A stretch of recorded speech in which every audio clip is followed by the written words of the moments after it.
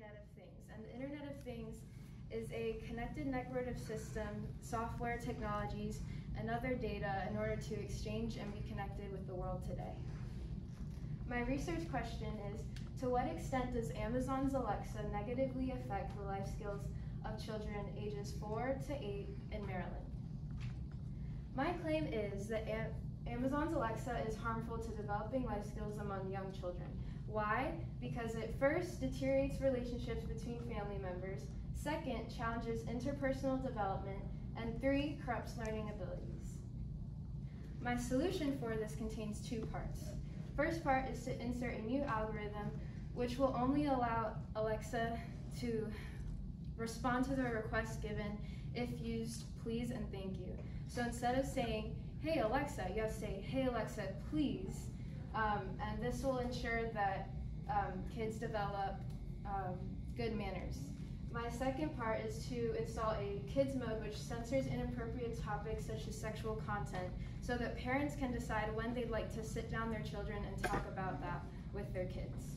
My limitations for this solution is that it would have to be installed into all new Amazon Alexas and Echoes instead of the ones that families currently have.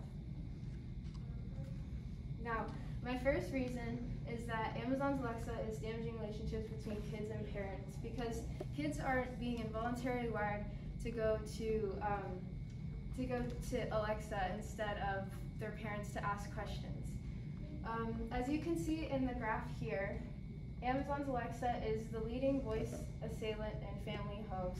And right now, 100, 157 million um, families have Alexa currently in their home. Um, okay. Uh, according to the Washington Post by Rosenwald, children certainly enjoy Alexa's company, referring, oh, wrong side. Okay. Um, according to Richard Freed, you can yell at it and demand entertainment whenever you want, and that encourages rudeness and lack of manners. Also, on the account of PhD psychologist Susan Pinker, acquiring communication skills means eye contact and reading facial expressions, and Alexa can't provide that. So, it ruins the ability to develop essential social skills. Amazon's Alexa corrupts learning abilities because it makes it easier for students to cheat, especially now in 2020 because of the pandemic.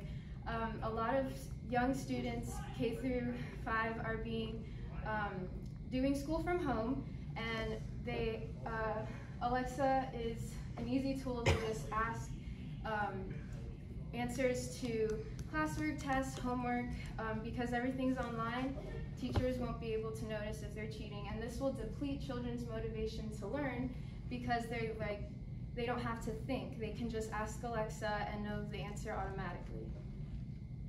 Um, this graph shows the units behind amazon's alexa and how it's increased throughout the years by statistica all in all amazon's alexa creates disadvantageous effects on children's 4 to 8 if we want to ensure that our future generation contains social skills, communication skills, um, emotional intelligence, and good learning skills, we need to ensure that we would um, put limitations on Alexa in order to make sure that their future is in good hands.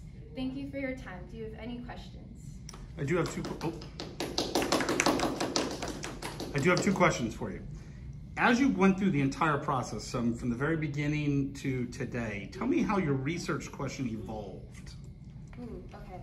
So at first, I wanted to just look on the education factor of, you know, Alexa on like, oh, how can they like, how does that ruin their learning abilities? But as I researched, I found that there wasn't a lot of like data or information for evidence on that, and it was more like general like life skills and that you know became in parts that includes education and you know uh, relationships with people stuff like that. Okay and if you had more time what additional research would you uh, would you do?